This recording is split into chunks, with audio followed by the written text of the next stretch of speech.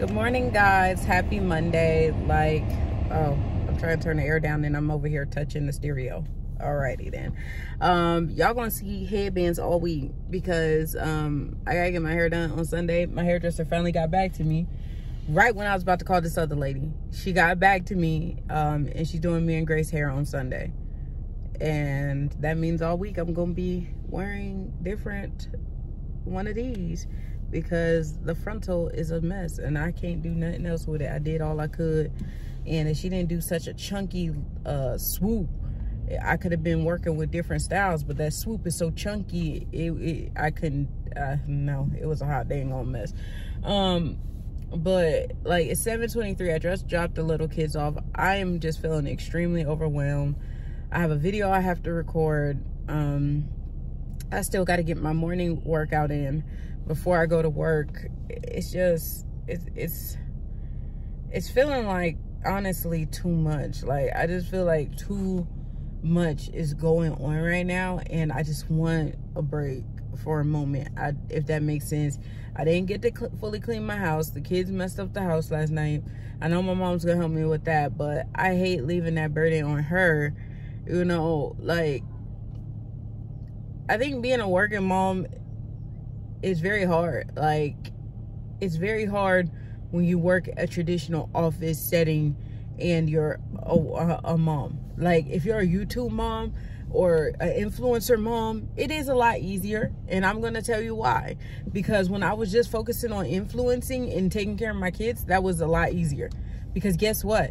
I edited when I wanted to. I did everything when I wanted to. Okay? um, videos for companies went up when I wanted them to on that schedule.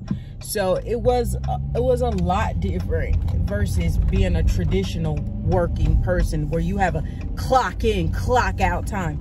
That's a lot different than someone that works as an influencer. Um, because it's kind of like owning your own business. But of course, sometimes business owners, they work harder than you know, people that do a traditional nine to five, but the thing is they can make their own hours.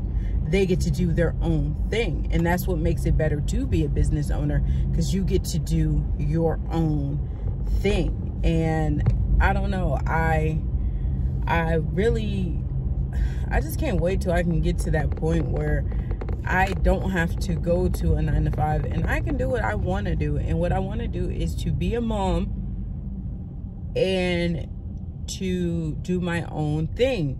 Um, but the reality of it is that my job pays extremely well when it's doing really good. So, like, I would be a fool not to at least work their busy season every year. Like, I would be a fool not to. Um, because you'll make like 70% of your income of the year in like four months. You'll be a fool to say no to that kind of money. Um, and those are the months I don't mind working like hard as heck at my job, like as much overtime, whatever is needed. But when I don't feel like doing it, it, is like times like right now, because we should be laid off. We're supposed to be laid off, and they're not laying us off. So we're going into this office bothering people all day long and getting chewed out of why there's no sales. Well, it's almost Christmas. It's cold outside. Nobody cares about their lawn right now. They they don't. They don't. They don't care. I'm sorry to inform y'all, but it's not the biggest thing on their mind right now and we're getting chewed out because we're not selling but i mean in reality this is not the season that we should be selling. We should give our customers a break. But you know it, it gets a little mm, it just gets aggravating like because this is the time i usually spend more time with my children and now i don't get that opportunity and that's one of the reasons why i actually like the job because this was the time of year that I'm off every year and I get to spend it with my children because it's the holiday season. Now you took the holiday season away from me being able to be with my children. So I'm a little salty, like no cap. Like I am very salty about that. Um, but they're gonna have to make us work from home when the kids go on uh, leave because the kids break starts soon and when the kids break starts i think this friday or whatever we all have to work from home. Like have kids that's single parents because the schools are going to be closed. And if they really think people going to be buying, no. And they're going to be blowing up our phone and everything else. I already know. But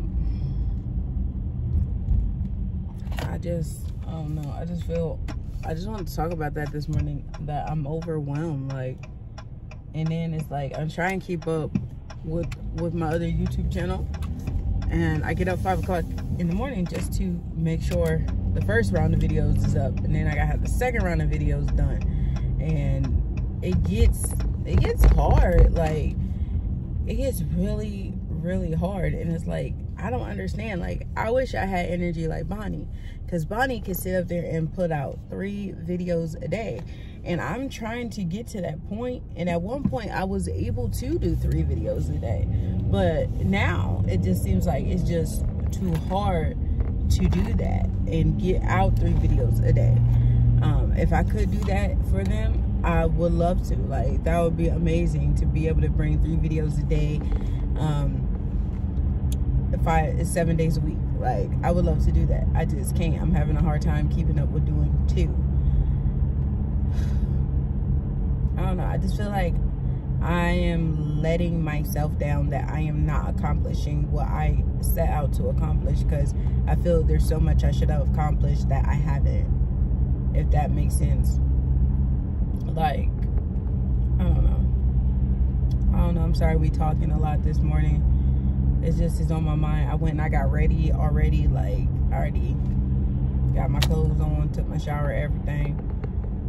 I just I don't know, I feel like I let myself down in some kind of way and I let the people around me down. I can't explain how I let them down, but I feel like I have let everyone down and I haven't done everything I needed to to be successful because I'm 35 years old 35 years old, twice divorced.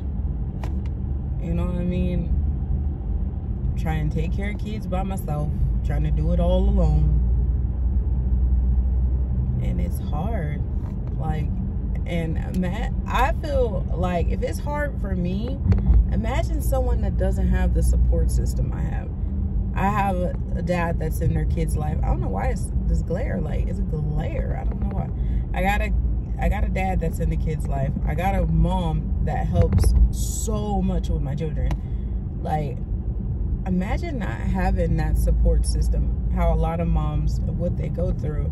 And I just thank God for what I do have because if I didn't have my support system, I don't know where I would be. Like, how many moms could say on the weekend if they wanted to, because the dad does what he's supposed to and he doesn't make excuses and he picks up his kids.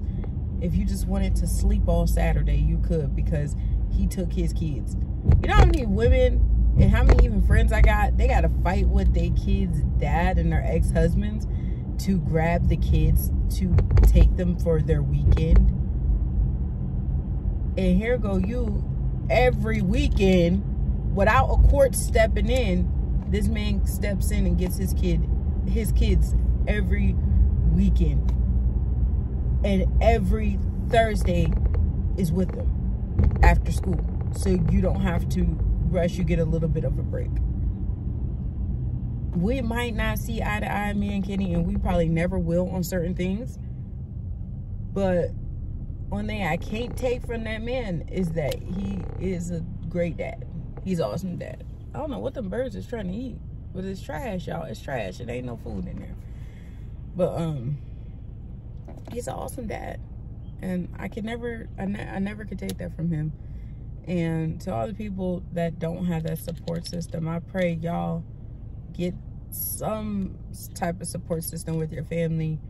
And if you have a kid that's a single parent, you know, check in with your kids. See what you could do to help your kid out, you know, to give them a break because moms be going through it. The primary parent, even if the primary parent is a dad, they be going through it sometimes.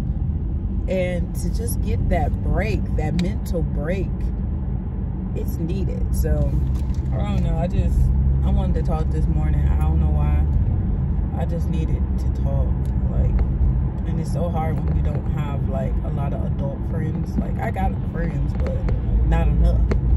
And I don't want to talk somebody's ear off seven o'clock in the morning, so I talk to my camera, which is talking to y'all, so I can get feedback from y'all early in the morning. So um, yeah, I'll catch up with you guys when I get the workout in.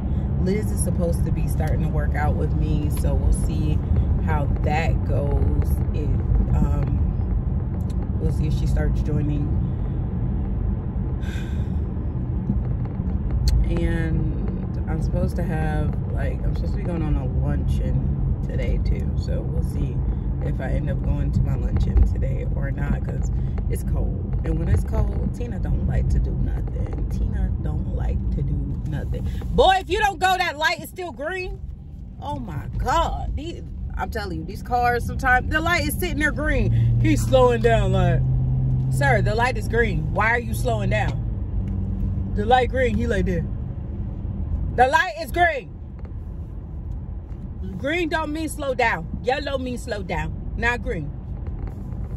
I swear, if he really get, oh my God, like I was all calm and then somebody do something dumb. I'm like, are you, am I Remy my voice? Are you dumb? Like, seriously, are you dumb?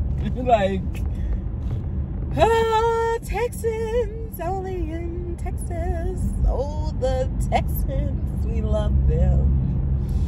but let me go ahead and get off here, y'all. I, I gotta get going.